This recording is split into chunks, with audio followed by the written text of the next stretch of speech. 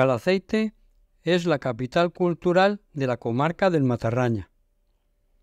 El núcleo más antiguo se formó alrededor del castillo, del cual no quedan restos.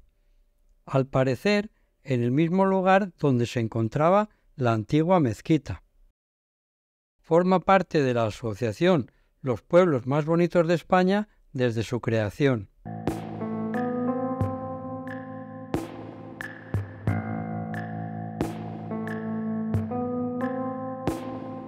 La iglesia parroquial de la Asunción, de estilo barroco, data del siglo XVII y fue construida sobre el solar de la primitiva iglesia gótica de dimensiones más reducidas.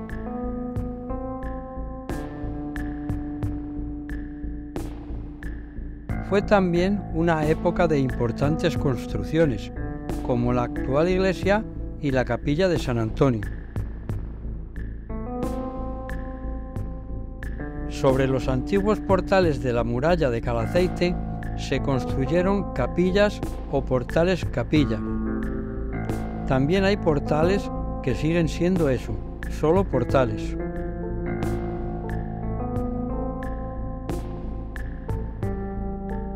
En un lateral de la Plaza de España, lugar de reunión de los habitantes de la población, se sitúa el ayuntamiento del siglo XVII en la planta baja se sitúa la lonja y la antigua cárcel. Antiguamente, bajo los porches se hacían asambleas, se ajusticiaba a los presos y se realizaba el mercado.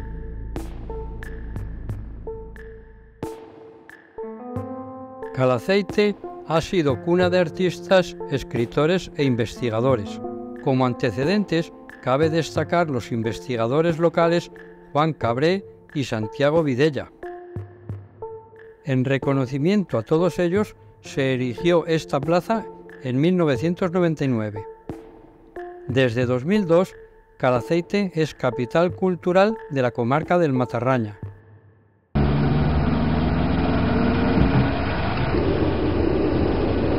Bueno, pues dejamos atrás ya eh, Calaceite y vamos para Alcañiz.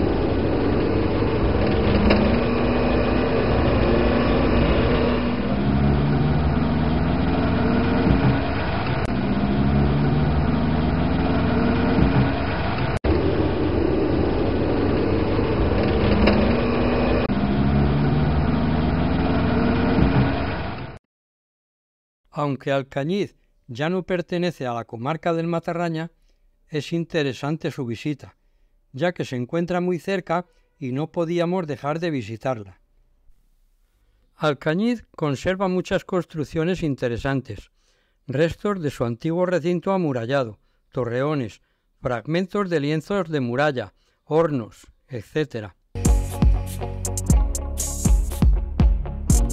Durante la Edad Media la Orden de Calatrava hizo donación de un amplio territorio en el Bajo Aragón. Fruto de ello es la construcción del castillo, principal testimonio del alcañiz medieval, sede de la encomienda mayor de la Orden de Calatrava. El Palacio de los Comendadores, construido en la parte sur del castillo, hoy acoge el parador de turismo. Es de estilo barroco del siglo XVIII.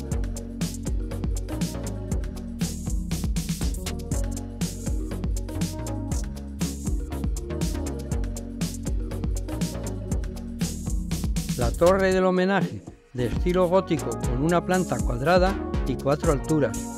El claustro junto al muro sur de la capilla con arcos apuntados y la iglesia de estilo gótico con la portada románica.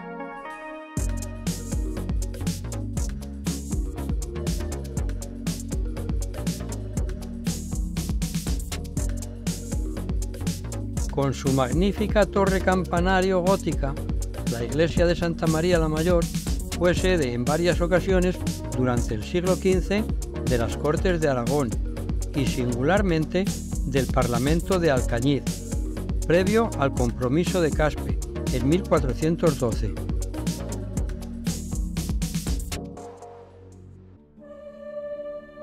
En el interior de una sola nave se adosan varias capillas, construidas por los maestros capilleros de la época, como Pedro Vétera, Bernardo Pascual, Juan de Sesei Balaguer o Manuel Gascón.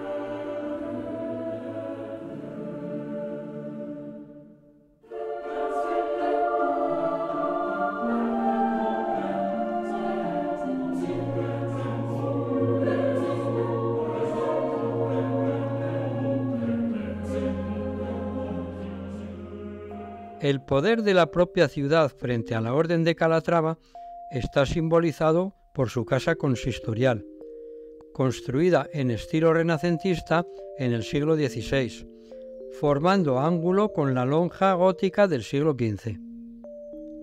Ambas construcciones fueron declaradas monumento histórico en 1931. Se crea un nuevo espacio urbano, la Plaza Mayor, en sustitución del eje tradicional de la villa durante la Edad Media.